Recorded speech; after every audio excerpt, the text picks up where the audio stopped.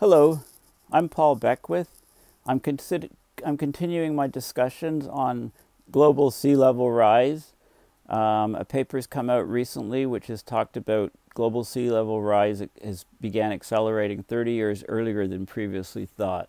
So instead of accelerating um, at the beginning sort of of the satellite era of radar altimeters, so early 90s, um, it actually started accelerating in the 60s. So I'll show you the um, results of, of this paper.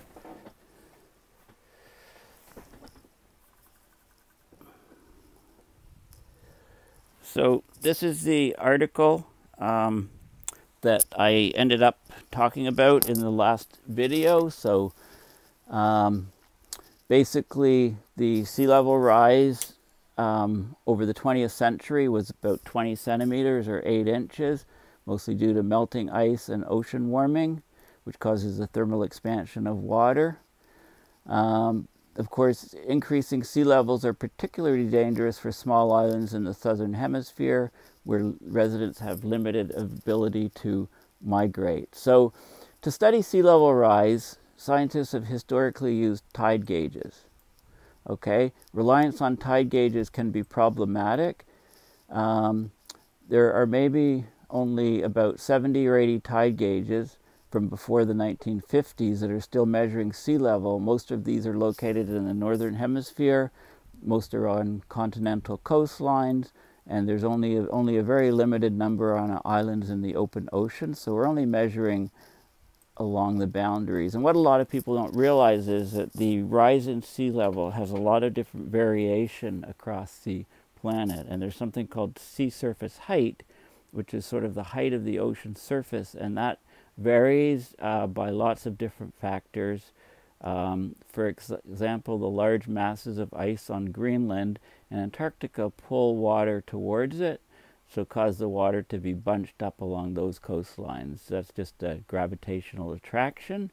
Um, ocean currents, of course, temperature, you know, warmer areas of warmer ocean, the, the sea level will be higher because of the expansion of the water and so on. I mean, the water takes time to move. It doesn't move instantly, so there's a lot of dynamic variation at play. So getting back to the tide gauges, that's been the traditional way of measuring sea level rise. And to get in, to, to convert to sea level rise, we also need to know if the land is, is rising or falling, the, the isostatic um, adjustment of the land.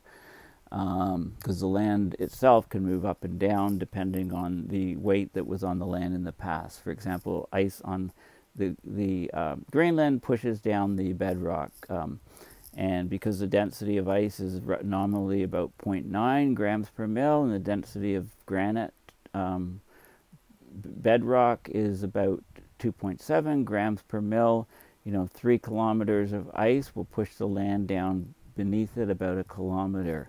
Um, and that will reach an equilibrium. And then, of course, if the ice is forming, the land's pushed down more. And if the ice is melting, then the land will, will rise up. That's known as isostatic rebound. So you need to correct for that. Um, now, in 1993, satellite altimetry was introduced to measure sea levels around the globe. So these, basically, it's an altimeter. It sends a high frequency pulse to the Earth, and the pulse returns back up to the satellite. If you know the height of the satellite, um, well, basically, the time, um, the travel time of the pulse going down to the Earth and back up, you know the speed of the pulse, you can get the distance, and from the distance you can get an accurate um, value for, for the uh, sea level. Uh, you can calculate the sea level. So we've had an, un, an accurate, uninterrupted record of sea level change from 1993 onward, and then we before then we need to use the tide gauges. So to get the global mean sea level before the satellites, there's two techniques that are used. We use probabilistic techniques, and there's something called the empirical orthogonal approach. Okay, the probabilistic technique can get the trends, but misses the short-term variations, and the empirical orthogonal approach can get the short-term variations, but over a shorter uh, time frame, not over the whole the whole time frame of the of the data. Okay, so um, basically, using both of these techniques in combination, we can get a reconstruction of both long-term changes and the short-term variability. Using one method only, you can only get one or the other, um, but using both combined, you can get a good record giving both, uh, you know, using the best of both worlds. So, you know, long-term, short-term variability, for example, is from things like El Nino, Southern Oscillation, and so. Okay, so you combine these two techniques um, to get a hybrid reconstruction, and basically, then you can calculate the increase in average sea level, global average sea level rise every year from 1900 to the present day. And basically, the data shows that global sea level rise began to accelerate persistently in the 1960s. Okay, um, it didn't start in the 1990s, uh, it started in the 1960s. So this is a this is the annual increase in global mean sea level. So this is a like a this is a, a so this is um, a uh, sea level rise, global sea level rise of millimeters per year. And you can see what it was back in 1900, just 1.39 millimeters per year. You know, there were some dips, there were some increases, you know, up to about two, you know, dips here, and you can see a steady rise here since 1960. Okay, uh, a steady rise, and we're up where we are right now 3.44 in 2016, 3.44 millimeters per year, rising global average uh, global mean sea level. Okay, now if you take the derivative or the slope of this curve, which is the slope of velocity, okay, is acceleration. So this is the acceleration in millimeters per year squared. And you can see, you know, large acceleration here, you know, you know, this is a zero point. So it doesn't mean when the acceleration goes up drops it doesn't mean that the sea level is dropping it means that the rise the rate of rise of the velocity of sea level is is de, is is, de, is decreasing so there's fluctuation but we've reached since about 19 well this is 1960 this is 1969 um, since about 1969 we've had you know fairly high acceleration and it's starting to rise up here again 0.07 to 0.08 sort of thing. Um, millimeters per year squared is the acceleration of global sea level rise. Okay, so basically, now what is this attributed to? Well, one of the things this study found is it looked at the spatial variation on, you know, over the planet of where of, of sea level rise and the acceleration and it found finds that most of the increase in sea level rise you know in terms of where it's happening globally is thermal expansion in the Indo-Pacific and South Atlantic oceans um, you know near the regions of high intensity westerly winds so these westerly winds they blow from the west to the east in two bands typically across the mid latitudes, one in the northern hemisphere, one in the southern hemisphere. So we're talking about the jet streams, and it moves the warmer ocean away from the surface to a different location. There's upwelling of colder ocean water, and the colder ocean water absorbs more heat, according to this, and so it expands more, raising sea levels. Okay, so indirect wind effect. They found that the increase, um, the, there was a significant increase in sea levels in the southern hemisphere, westerly wind intensification of 15% in the southern hemisphere, resulted in a 40 millimeter increase in average global sea level over 70 years. So, you know, there's a lot of contribution from ice, of course, but, you know, wind is another effect that people really haven't. I mean, we know that wind causes local variation of sea level, but you know, wind blowing, I mean, wind blowing warm surface water out of the way, causing upwelling, causing more absorption. That, that's a new um, mechanism that people haven't really considered. So, you know, why is colder water upwelling from below, absorbing more solar energy? Um, and, you know, one of the things I can think of is that there's a lot of nutrients in the colder water from below. So when that water upwells, there's a lot of phytoplankton growth, and the phytoplankton darkens the ocean. Um, you know, light that penetrates through is absorbed in the phytoplankton, and you know that causes localized heating. And I was up at a lake um, in northern Ontario, um, you know, recently, and uh, you know was swimming, and the water was quite warm. But when I swam into weed beds, you know, the water was extremely warm at the surface. There was obviously the water amongst all of the weeds and vegetation was much much warmer than the water around. One of the things is the weed beds would, would reduce the mixing of the water, so it could just sit there at the surface and be warmed up more. Um, you know, but also there's, uh, you know, if the surface is darkened, um, then the uh, that will that will, the, the absorption of solar energy will increase, and that will warm the water as well. So, okay, so that's that article.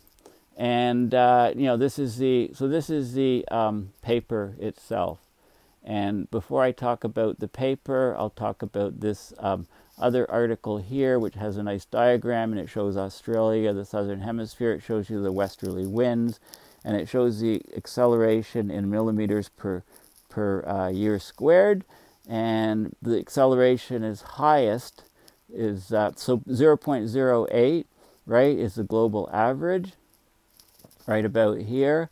You know, there's regions, uh, there's three times higher acceleration of sea level rise in this area just to the east of Australia, these red areas here, and there's slowed acceleration um, over here. So what's happening happening is the westerly winds are blowing here, the Coriolis deflects things to the left in the southern hemisphere, so it's pushing the water, Ekman flow is pushing the water from this region here over to this region here. So the sea level is, the water is being piled up here consistently. So sea level is, is rising much, much faster here and much, much slower here. I think that's just basically what's happening. But generally that would just be, you know, thought of as a regional effect. But they're, they're saying that, that it's, um, that uh, basically, well, it's the largest component of that 0.08 global rise um, in sea level. Okay, so that's the key uh, key plot. Um, so, you know, they talk about the changing winds affect sea level in two ways. First, they move warm upper ocean water masses northward, causing a large increase in the rates of sea level rise in the subtropical Pacific, but it also controls the uptake of heat by the ocean below. So, upwelled cold water takes up heat more quickly than the replaced upper ocean warm water. So when the so when the winds intensify 15%, there's more heat pumped in from the atmosphere into the ocean, leading to an expansion of the water column and therefore a rise in global sea level. Okay, so that's the key finding of, of this paper. So looking at the paper here, um, so basically let's look at the um, the data here. So these are different tide gauges here. This is the uh, satellite data, the altimetry data here, and what you can see is you can see sea level. This is in millimeters, so this is the trend, you know, from 1900 to present day in the Southern Ocean. The the red is the you know from 1993 onward, the altimeters, and the blue is the tide gauge data, and you can see how each of the different regions of the ocean is um, warming. You know, you can see a large spike up here in the eastern Pacific, um, and so on. So you can see the the trends in all of the different basins. Um, this is the data. Um, there's a table here, which is basically showing this data, but in in a in a table form rather than in graphs. And you can see. Um, so this is the key data here. This is the um, basically 1900 to present day, and you can see the so this is the the rise in global mean sea level in millimeters, and you can see look at here from about 1960 or so. Uh, you can see the curve is rapidly getting steeper and steeper. So this is an accelerating curve. Um, this is the velocity um, of sea level rise, the derivative of this curve, and then this is the acceleration. So I've always I've already shown you these these plots here, these two plots here, and you can see you know 0.08 or so is the typical average here, and the acceleration's being you know there is fluctuation from year to year, but basically the trends are upward. Thank you for listening.